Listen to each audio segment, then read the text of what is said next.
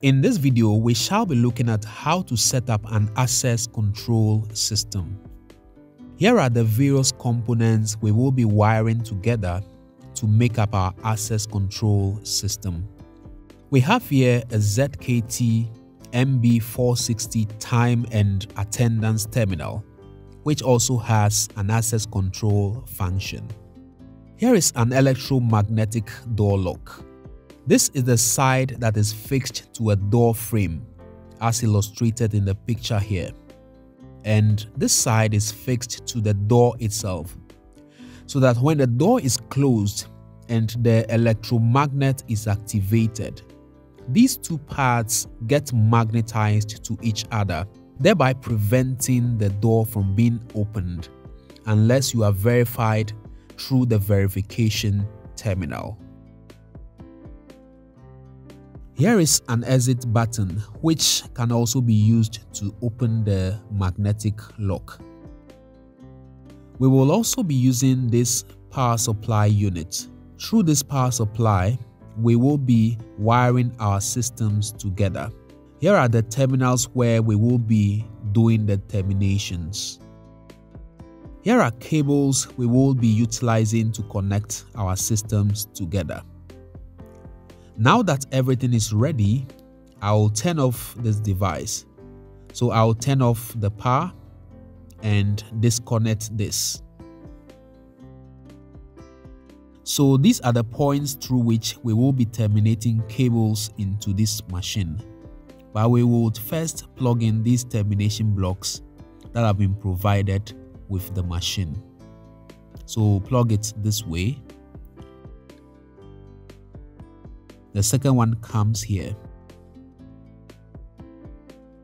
So we are now ready to do our terminations. This is a diagram we would follow to do our terminations.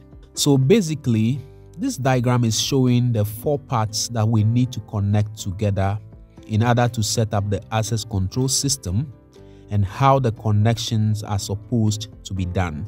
Let's start the wiring process and we will begin with the MB460 machine. On the MB460, which is shown here, the diagram shows that we are supposed to connect a cable from the point that is labeled 12 volts or 12V. So here is a cable and according to this directive on the machine, the 12V is the second hole on the connection port here when you count from the top. So we will put the cable here and press the side here to let the cable lock in here. So the first cable to the MB460 has been well placed. When you come back to the diagram, the other end of the cable placed at plus 12V goes to the plus 12V in the power supply unit. So this is the end of the cable and this is the plus 12V in the power supply unit as you can see. So we will lose the screw here and place the cable. Tighten it up.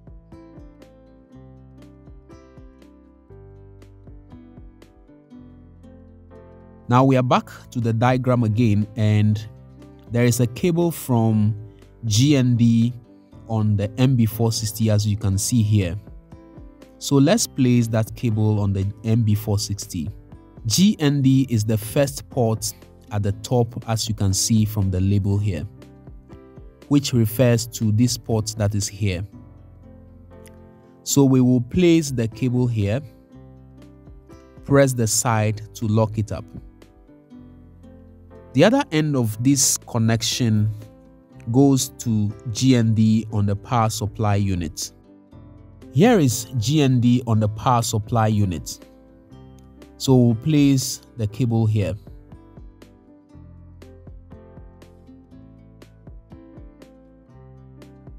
This means that we have completed a second connection for the MB460 machine. The next connection is placed at COM so let's place that cable. According to this directive on the machine, COM is number 2 at the right here. So we will place a cable here. Press the side to lock it up. The other end of the cable from COM also goes to GND on the power supply unit. GND is down here, so we will add it to this connection. Tighten them up. That does it for cable number 3. There is another connection from NO on the MB460. There is an NO1 here at connection port number 3, which means we will put a cable here, lock it up.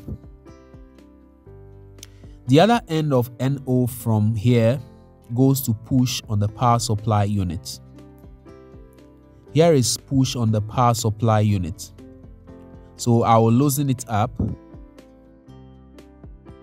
place the cable and tighten it up. So by this diagram, we are done with the cabling for the MB460 machine. So we can now turn it over.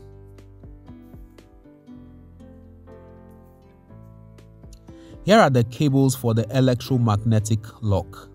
I've made the conductor with the labelings as the positive terminal and the other one without the labelings is made the negative terminal.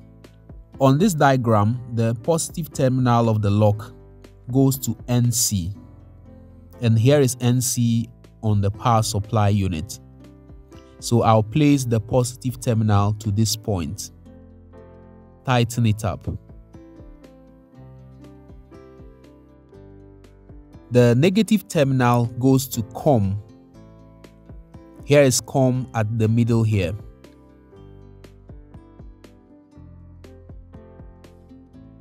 I'll screw it up.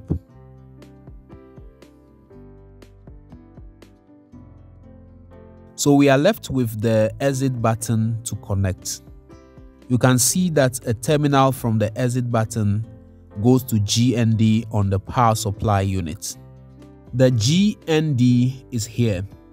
So I'll loosen this point and add the cable to the two cables that are already on the GND. Tighten it.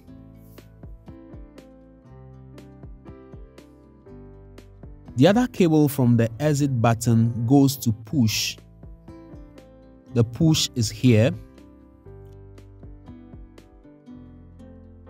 Place the cable and tighten it up. So this means that all our connections are done. I have my power supply plug here, so I'll plug it up to my power source. Turn it on. I'll turn on the MB460 machine as well. You can see that the system is booting up and the system is ready. The red light here means that the lock is active. So you can separate the two parts of the lock and this connotes access restriction. So let's start by testing the exit button and see if it will be able to open the magnetic lock. So I'll press the exit button. Alright, it has opened it up. The lock has been activated again I'll try and open it up with my fingerprint which I have already added to the system. So I'll place my finger here. It has opened it. I will also try by opening it with this RFID card which I have also added to the system. So I will swipe it here. You can see that it has opened it. So that is how simple it is to set up an access control system using the MB460 time and attendance terminal. It's been a pleasure coming your way again. I welcome your comments, feedbacks and questions if you have any.